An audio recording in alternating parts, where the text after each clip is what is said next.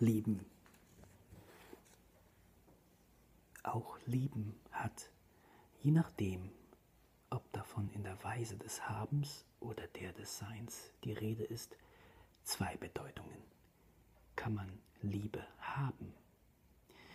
Wenn man das könnte, wäre Liebe ein Ding, eine Substanz, mithin etwas, was man haben und besitzen kann. Die Wahrheit ist, dass es kein solches Ding wie Liebe gibt. Liebe ist eine Abstraktion, vielleicht eine Göttin oder ein fremdes Wesen, obwohl niemand je diese Göttin gesehen hat. In Wirklichkeit gibt es nur den Akt des Liebens. Lieben ist ein produktives Tätigsein. Es impliziert, für jemanden oder etwas zu sorgen, ihn zu kennen, auf ihn einzugehen, ihn zu bestätigen, sich an ihm zu erfreuen. Sei es ein Mensch, ein Baum, ein Bild, eine Idee. Es bedeutet, ihn, sie, es zum Leben zu erwecken, seine oder ihre Lebendigkeit zu steigern. Es ist ein Prozess, der einen erneuert und wachsen lässt.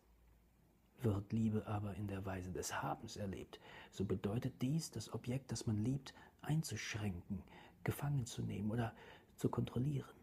Eine solche Liebe ist erwürgend, lähmend, erstickend, tötend statt belebend. Was als Liebe bezeichnet wird, ist meist ein Missbrauch des Wortes, um zu verschleiern, dass in Wirklichkeit nicht geliebt wird. Es ist eine immer noch offene Frage, wie viele Eltern ihre Kinder lieben. Die Berichte über Grausamkeiten gegenüber Kindern von physischen bis zu psychischen Quälereien, von Vernachlässigung und purer Besitzgier bis hin zum Sadismus, die wir in Bezug auf die letzten zwei Jahrtausende westlicher Geschichte besitzen, sind so schockierend, dass man geneigt ist zu glauben, liebevolle Eltern seien die Ausnahme, nicht die Regel. Für die Ehe gilt das Gleiche, ob sie auf Liebe beruht oder, wie traditionelle Ehen, auf gesellschaftlichen Konventionen und Sitte. Paare, die einander wirklich lieben, scheinen die Ausnahme zu sein.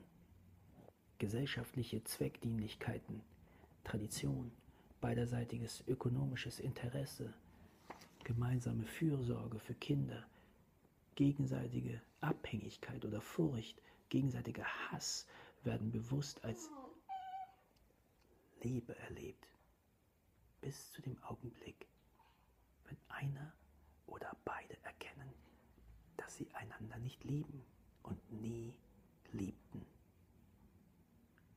Heute kann man in dieser Hinsicht einen gewissen Fortschritt feststellen.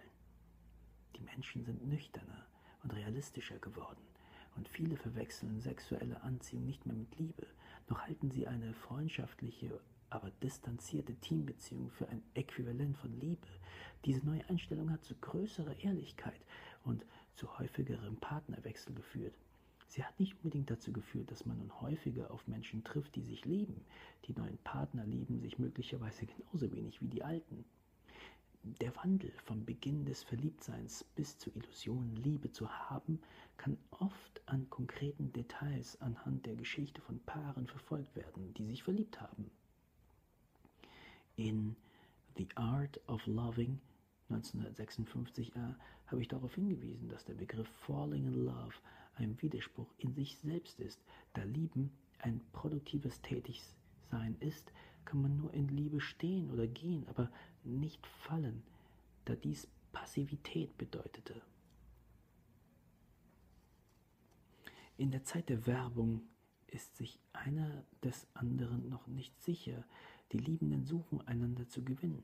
Sie sind lebendig, attraktiv, interessant und sogar schön da Lebendigkeit ein Gesicht immer verschönt. Keiner hat den anderen schon.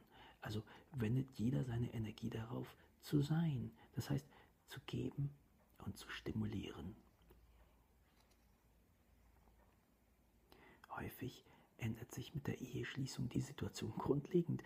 Der Ehevertrag gibt beiden das exklusive Besitzrecht auf den Körper, die Gefühle, die Zuwendung des anderen. Niemand muss mehr gewonnen werden, denn die Liebe ist zu etwas geworden, was man hat, zu einem Besitz. Die beiden lasten in ihrem Bemühen nach, liebenswert zu sein und Liebe zu erwecken. Sie werden langweilig und ihre Schönheit schwindet. Sie sind enttäuscht und ratlos. Sind sie nicht mehr dieselben? Haben sie von Anfang an einen Fehler gemacht? Gewöhnlich suchen sie die Ursache der Veränderung beim anderen und fühlen sich betrogen. Was sie nicht begreifen, ist, dass sie beide nicht mehr die Menschen sind, die sie waren, als sie sich ineinander verliebten, dass der Irrtum, man könne Liebe haben, sie dazu verleitete, aufzuhören zu lieben. Sie arrangieren sich nun auf dieser Ebene und statt einander zu lieben, besitzen sie gemeinsam, was sie haben. Geld, gesellschaftliche Stellung, ein Zuhause, Kinder. Die mit Liebe beginnende Ehe verwandelt sich so in einigen Fällen in eine freundschaftliche Eigentümergemeinschaft, eine Körperschaft.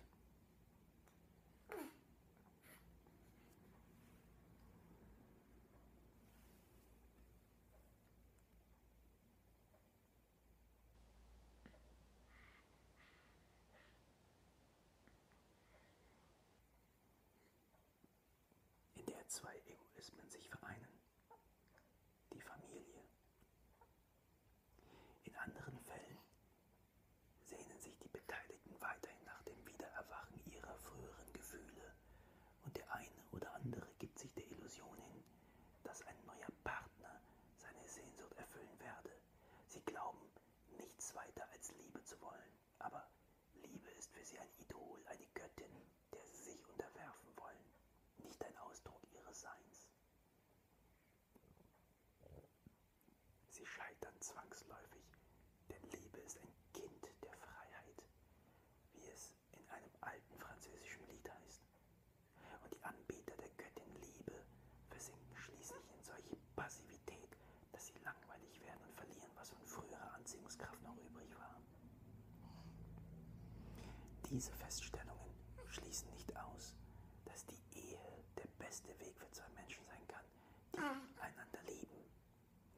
Die Problematik liegt nicht in der Ehe als solcher, sondern in der besitzorientierten Charakterstruktur beider Partner und letzten Endes der Gesellschaft, in der sie leben. Die Befürworter moderner Formen des Zusammenlebens wie Gruppenehe, Partnertausch, Gruppensex etc. versuchen, soweit ich das sehen kann, nur ihre Schwierigkeiten in der Liebe zu umgehen, indem sie die Langeweile mit ständig neuen Stimuli bekämpfen und die Zahl der Partner